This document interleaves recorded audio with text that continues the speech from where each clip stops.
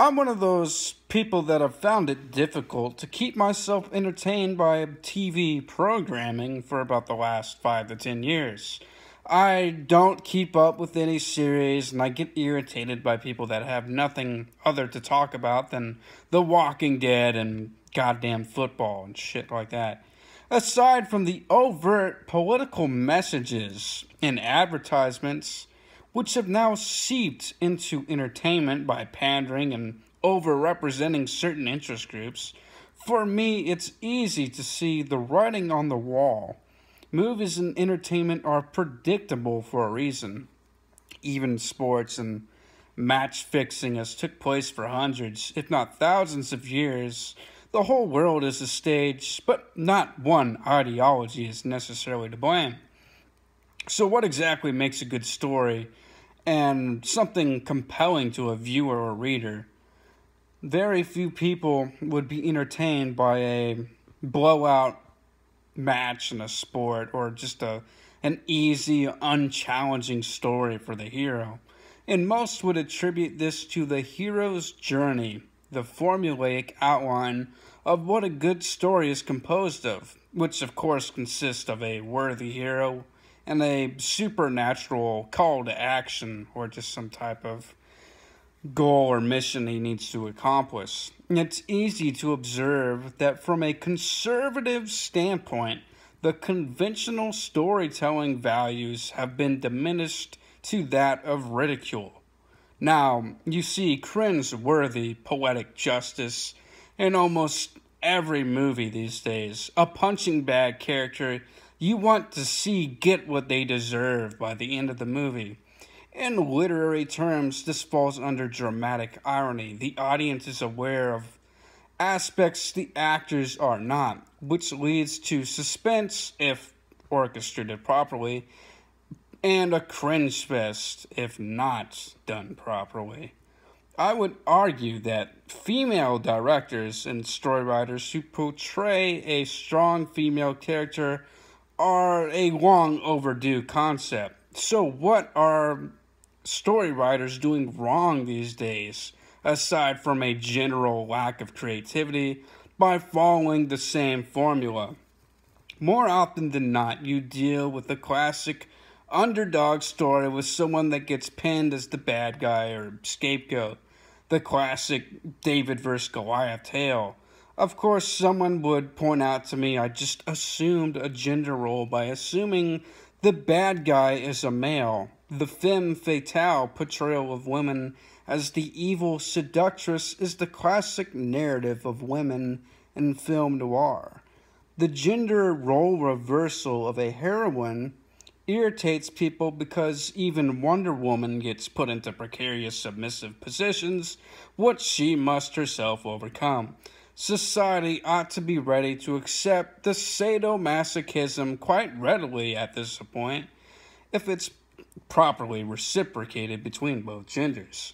And this is where the audience feels personally involved and attached to their protagonist and antagonist.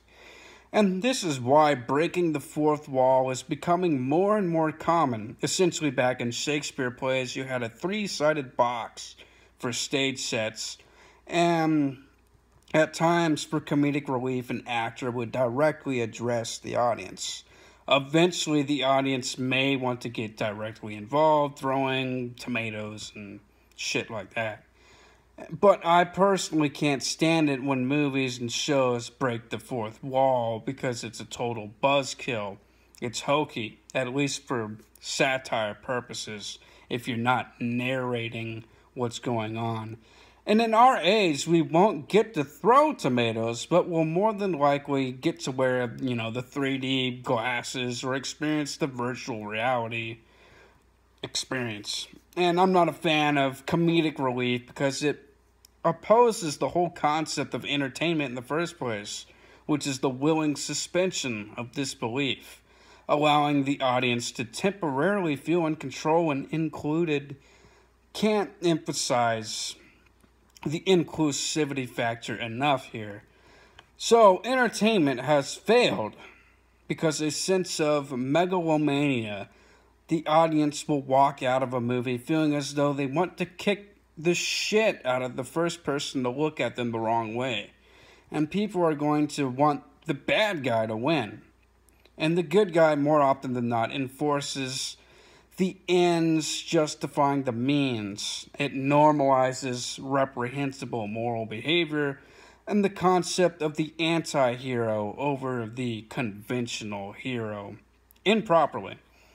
So, let's take a look at the directing style of some women compared to men, and you'll find that women will avoid these pitfalls to properly tell a story without pandering when breaking the fourth wall. So, for example, in the movie American Psycho, this actually does a good job of breaking the fourth wall because um, Patrick Bateman is directly addressing the audience by his own internal dialogue and rituals in an epistolary format. It's as though you're reading out of his diary, and it gives you this good insight that this guy's really the psychopath that, you know, the movie portrays him as. Uh, another good movie would be Monster, which is you hear the account of a prostitute turned serial killer through her own recollections and personal experiences. And by the end of the movie, you can't help but root for her to go out and kill more Johns, and you're more disturbed than invigorated by the end of the movie. Now, these are two good movies. However, take a movie like Big with Tom Hanks, and it follows the formulae of the supernatural interference and call to action Boy wishes to be grown up, and he reaps the seeds he has sown. The classic be careful what you wish for cautionary tale. However, this movie, from my observation, the male protagonist is a portrayal of the stereotypical hero's journey from the male perspective. By the end of the movie, his adult love interest gets the opportunity to be young again but in the going your own way sense, she says, nah, I'd, I'd rather just stay an adult and not be a little girl again. And things go back to normal. And that's the end of the movie. As this grown woman has to cope with falling in love with someone with the emotional intelligence of a child. Now, this is very similar to another story called Flowers for Algernon. And in a nutshell, a mentally disabled man gets an experimental surgery that makes him a genius. And by the end of the movie, he falls in love with his teacher, who watches an innocent man become sexually aware. Ultimately, he loses his wits, and things go back to normal as the woman has to cope with her falling in love with an emotional child. Now imagine if these gender roles were reversed and these were rebooted and it would illustrate a lot about what's wrong with storytelling. In reality, this is the projection of a stereotypical perception of a man's wants, of a virgin.